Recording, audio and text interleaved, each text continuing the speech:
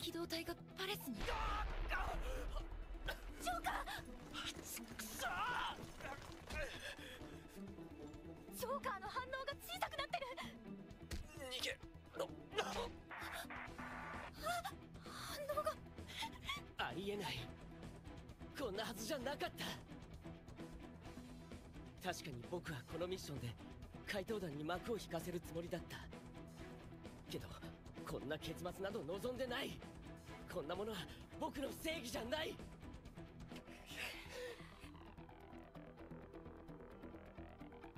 まだだ。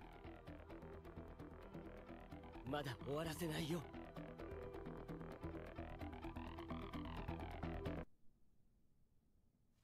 つてをたどって調べた。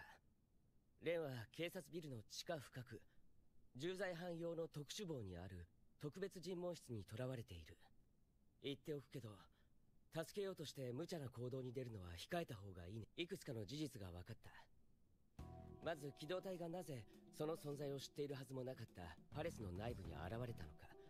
どうやら何者かが異世界とパレスの情報をリークしたらしい。サイさんはすでに捜査から外されている。これはまだ彼女も預かり知らぬ情報だ。僕は彼女の上司の特捜部長が関与しているのではないかと疑っている。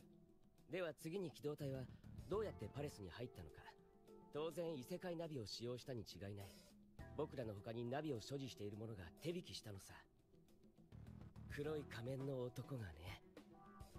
けど奴も背後の黒幕の手駒に過ぎないだろう。検察だけじゃなく警察内部にも大きな力が働きかけた痕跡がある。つまり敵は検察警察黒い仮面の男をも操れるほどの大物。異世界ではともかく現実世界で君たちができることは限られている。むやみに動いても返り討ちに遭うだけさ。僕がレンを助けに行こう。僕なら警察ビルに潜入しレンを密かに助け出せる。急にこんなことを言われて驚くかもしれない。でも他に手はないんだ。僕を信じて任せてほしい。これはいわゆる世間でいう正義の行いとは違うかもしれない。でも僕はレンと取引をした。それに黒幕が別にいることも分かっている。今は僕自身が信じる正義を貫くだけだ。君たちにも納得してほしい。何かあったら余計に救出が難しくなる。みんなくれぐれも軽率な動きは控えてくれ。きっとやれる。吉報を待っててくれよ。明智さん今日はお忙しい中ありがとうございました。いえどうも。では明日またこの時間に。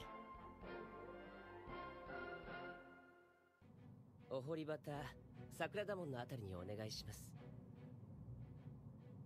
明智五郎についてよ。彼は私とたもとを分かった。そしてその後の動きはつかめない。もし彼が怪盗団に感化されたのだとしたら彼も仲間なの？それを見せろ。見せる？誰に？はっきり言って。誰にこれを？答えなさい。いい加減だんまりは通用しないわよ。黙ってばかりじゃ。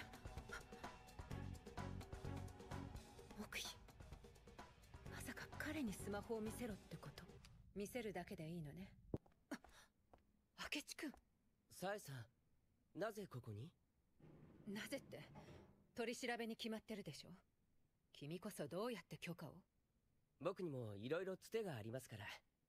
それにしてもこんな地下深く他は誰も収監されていないんでしょ？多少荒っぽいこともバレませんね。ねえ明智君これに見覚えは？はい。このスマホは？怪盗団のリーダーのものよ。うん。特に見覚えはないですけど気になる点があるなら。いえやっぱり自分で調べるわ。数少ない貴重な物証ですもの。そうですか。では次は僕が取り調べする番ですので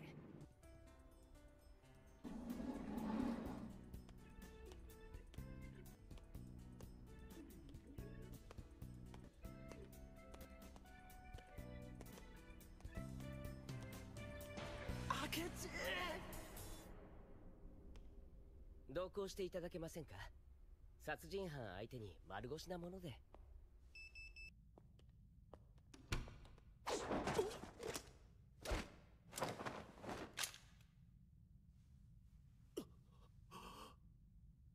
お待たせ。助けに来たよ。なんて言うとでも思ったかい？これがくだらない正義の慣れの果てだ。幕を引こうか。